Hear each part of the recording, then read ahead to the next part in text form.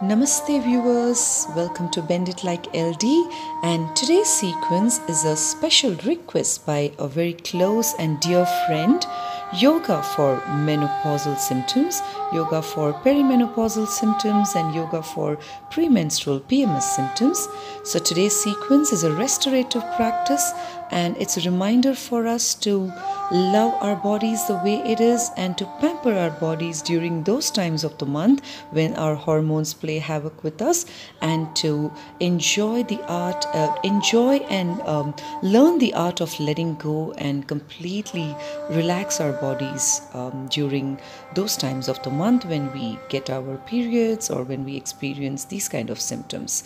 So let us begin our practice by lying down on our back and we'll start with three way breathing first to just align our body, breath, and mind.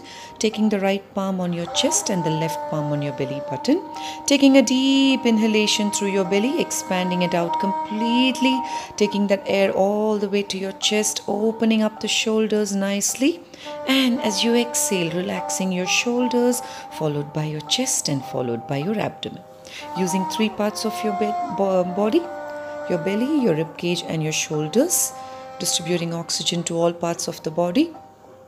Practicing about five or six rounds of sectional breathing, we also call this as yogic breathing.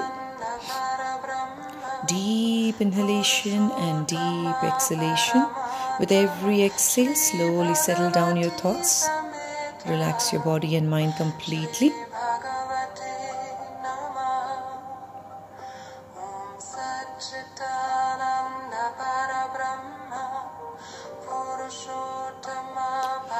Gently release. Slowly bring your knees to your chest, hug your knees to your chest, and gently rock side to side. And front and back about three or four times. Nicely warming up the spine first. Slowly come up and turn around. We'll begin with some cat and cow stretches in a seated position today. So sit in any comfortable posture, placing your palms on your knees. As you inhale, arch your lower back and gently lift the chest and shoulders. And as you exhale, rounding your spine and gaze at your belly. Practicing this for a couple of more rounds. Inhaling, arch your back, lift up nicely. Exhale, round your back. Inhale one more time. Arch your back, look up. Exhale, rounding your back. Straighten your elbows. Inhale, arch your back, look up. Exhale, round your back. One last time. Inhale, arch your back, and maybe just hold it for about five breaths. And exhale, round your back, gaze at your belly, hold it for about five breaths. And slowly release. And coming onto your knees. Take your palms slightly to the front of the mat, tuck your toes and come to Parvatasana, mountain pose. Draw your head deep in between your arms and gently walk your heels up and down on either side to slowly loosen up your leg muscles. You may wish to do a couple of Surya Namaskars. I haven't done this in the sequence, but it's always good to do about two or four sets to just warm up the body so that your body opens up a lot better. And hands to your hips and slowly come up. We'll begin with some hip rotations. So taking your feet wider than your hips slightly palms on your hips. We'll start with nice hip rotation. As you inhale, push your hip forward and as you exhale, push your hip back, making nice wide circles with your hips to loosen up your hips a little. Nice hip rotations. Five times on each side. Once you're done with five rounds, you change direction and try on the other side. Inhaling, push your hip forward, and as you exhale, push your hip back and stretch back nicely.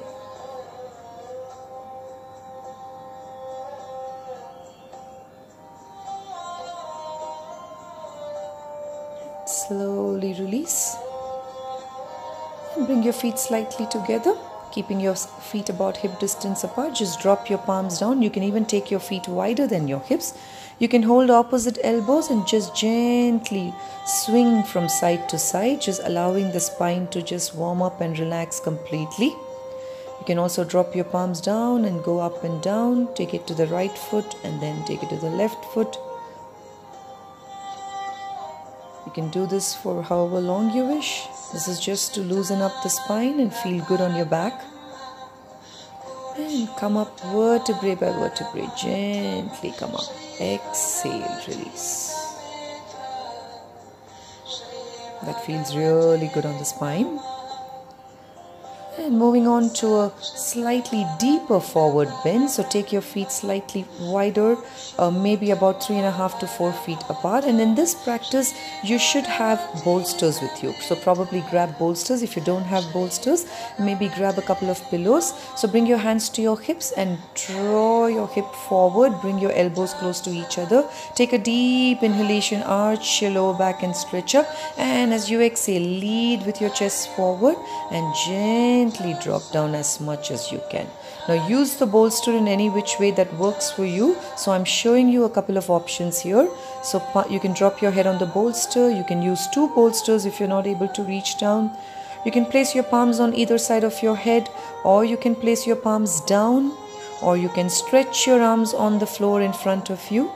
So take any option that works for you. The idea is to feel good. So don't strain yourself.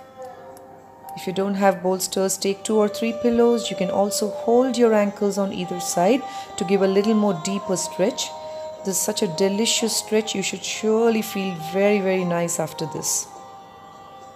Using blocks are always wonderful to allow your body to open up gently.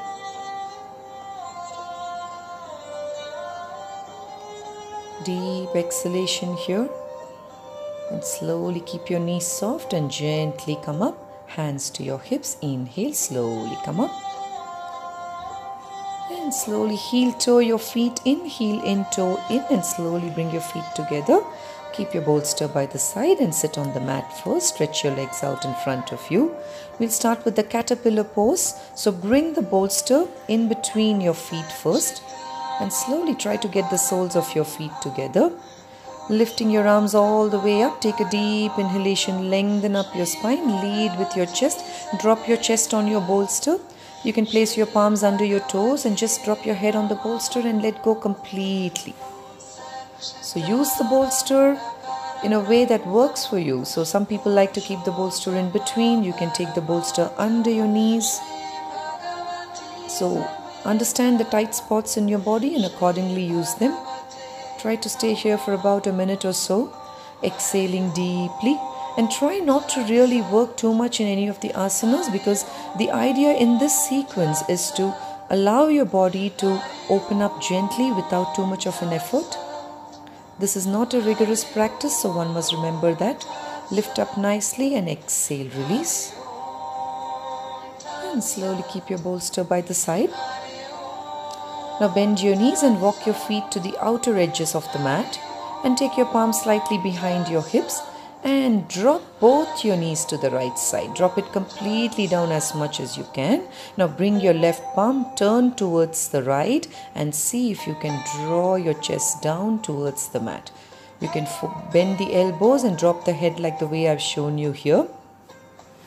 I'll show you with a bolster on the other side in case you feel you're not able to drop your head all the way down. Inhaling and exhaling deeply here. Again, the idea is to just gently stretch your body, not stressing it or not opening it up, you know, working too hard on the postures. Now use a bolster on the other side. So for the other side, drop the knees to the left side. Take a deep exhalation. Place your elbows on the bolster and drop your head on the bolster. This is probably a much easier way for some of you maybe. And relax completely. Feel that sense of peace, calmness and well-being slowly pervading your body with every asana and slowly release. And we'll do a nice forward fold Paschimottanasana with a bolster. So I'm showing you some options here. So place the bolster on your thighs, lifting your arms all the way up. Inhale, lengthen up your spine. Take a deep exhalation, drop your chest and head on the bolster. You can even hug your bolster. If you feel you're able to reach forward, you can stretch your arms out and hold your toes or your ankles. So, whatever works for you. So, you can either hold your ankle or hold the toes and just relax completely with minimal effort, gently opening up and stretching the body.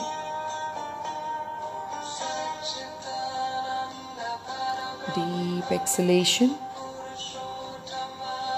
This is a beautiful posture to activate your parasympathetic nervous system, kicking all the feel good hormones in your body. And slowly release. Now stretch your legs out in front of you. We're just going to do a little bit of a cradle pose to it's called the rock the cradle pose. So bend your right knee and place the right foot in the crook of your left elbow Wrap your right arm around your right knee, interlock your fingers if you can, and just gently rock to side, rock side to side, just like you would rock a baby. This is just to open up the hip flexors and moving to the other side. Encircle your arms around your left knee and gently rock side to side, keeping your spine straight, shoulders relaxed. Taking the knee all the way to the left and to the front opening up your groin and your hip flexors and slowly release. Relax for a couple of breaths. And from there, slowly lie down on your back. We'll do Bhujangasana with an easy version to relax your lower back and upper back. And slowly keep the bolster under your chest, placing your elbows on the mat, feet slightly apart. Keep your shoulders away from your ears and gently close your eyes and just let go completely. Stay there for about 30 seconds to a minute, as long as you can, as long as you wish. Inhaling and exhaling.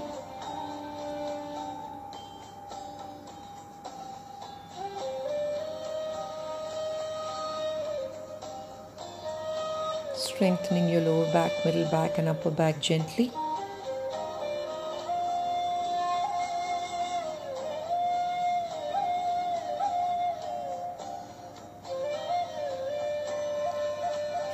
Once slowly come up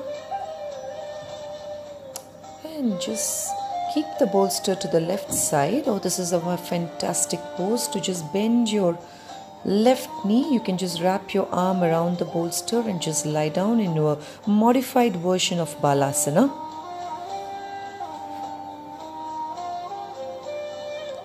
And you can also place your chest on the bolster. Take the bolster under your chest and just wrap your bolster like a, use it like a pillow and just let go completely. I think I'm already feeling a little sleepy here. This is beautiful. You just, just start feeling so good. I don't feel like coming up, I think. Relax, yeah, I can see all that calmness, that smile, those feel good hormones. We'll start with a little bit of Virasana posture. So I want you to bend your knees here. Now, important here is to lift up and roll the calf muscles out and sit. Now, some of you may be able to do this. So, a couple of options for you is to keep the bolster under your back and just lie down on the bolster and stretch your arms to the side. If this is too painful on your knees, please come out of the posture immediately. Do not strain your knees. You can also stay on your elbows like this if that works for you. And if your knees are still hurting, then I think this posture can be avoided. Any pain in the knee is not to be ignored. So come out of the posture, listen to your body always. Gently let go completely. This is also amazing for the back. It opens up the front of your thighs.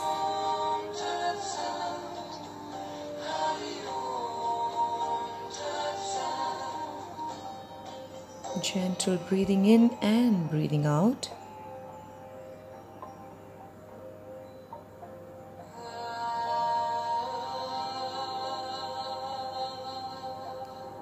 Try to stay in all these poses for about maybe two or three minutes if you can, or if you have the luxury of time. It's good to start practicing these sequences about 7 to 10 days before the onset of your periods or by the time you start feeling those irritable symptoms, the fatigue.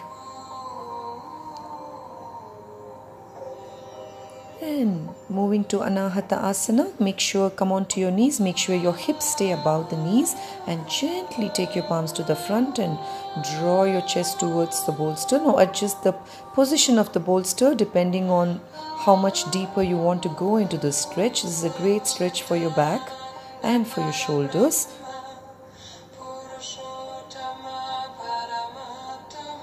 And stay there for however long you can. Make sure the hip stays above the knee so that you can extend the spine.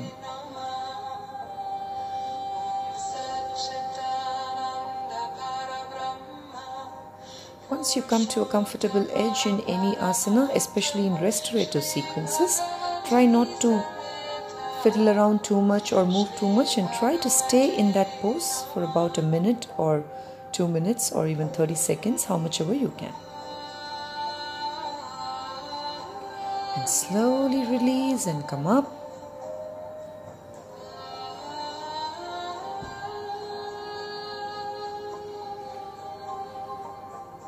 Gently lie down on your back. This is again one of my favorite asana, Supta Baddha Konasana. Bring the soles of your feet together. Now do not walk your soles all the way close to your pelvis. Keep it a little away from the pelvis so that you open up the hips gently. You feel that gentle stretch on the inner inner thighs from the all the way from the hips all the way to the knees on the inner thighs.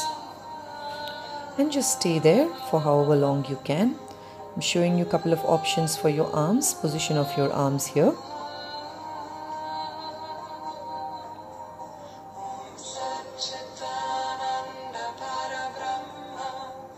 Is again great for women, especially during menopause, PMS symptoms, cramps during periods.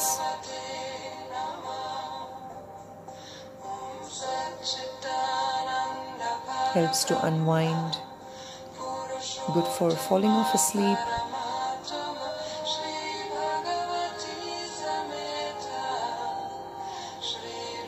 Once you wish to come, take your palms under your knees and slowly bring your knees together and hug your knees to your chest and gently rock side to side. And bring your knees all the way to your chest. Take your arms to the side and drop both your knees to the right side. Try to bring your knees as close to your right elbow as possible. Gently twist and look towards your left fingertips. Feel that gentle twist in the body. And on the other side, bring the knees to your chest first and drop your knees to the other side.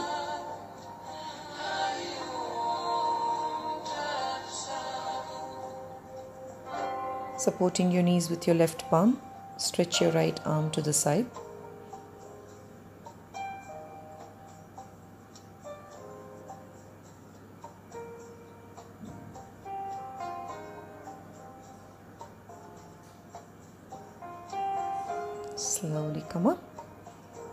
Now slowly hug your knees to your chest, gently rock side to side again. Now tuck your toes towards you, place your palms under your toes and give a gentle push to your toes so that your thighs are pressing against your chest. This is again very good. You'll feel really good doing this. So press the toes firmly so that the thighs press against the chest and do that a couple of more times. And slowly come up. Turn over to your right side and slowly come up.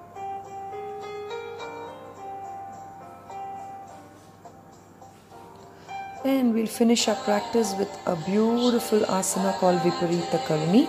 It's got a host of benefits. So you take your mat against the edge of the wall, scoot your hips to the wall and gently slide your legs up. I'll show you both options with without the bolster, with the bolster. This is again one of my favorite asanas and this is great for so many things. It's great for insomniacs, it's great for um, those suffering from migraine so just staying here before bedtime will give you good sleep. You can also separate your feet. You can also bend your knees and bring the soles of your feet together. I love doing that as well. And you can just finish your sequence like this, staying here for some time and just letting go completely. This is also a lovely pose for runners, for people who do a lot of cardio, who are athletes, to help the lactic acid pooling at the ankles to come down and to bring the circulation of blood back to the body. Back to the body. So this is the final asana for this sequence. So you can just stay here for however long you wish.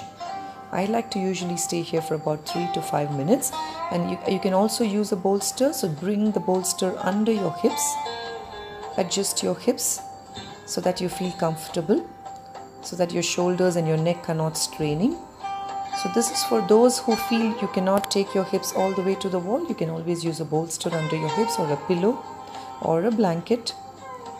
And just let go completely